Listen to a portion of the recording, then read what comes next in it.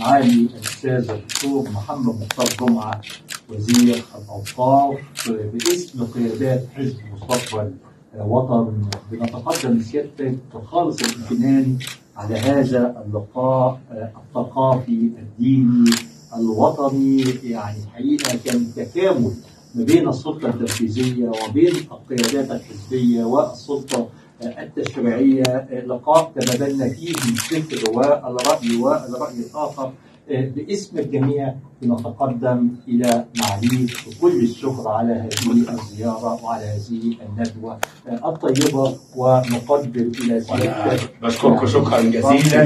من بشكركم الوطن بشكركم شكرا جزيلا ويعني بتمنى مزيد من التوفيق وبأحيي هذا النهج في إقامة هذه اللقاءات. التواصلية والكسبية شكرا شكرا جزيلا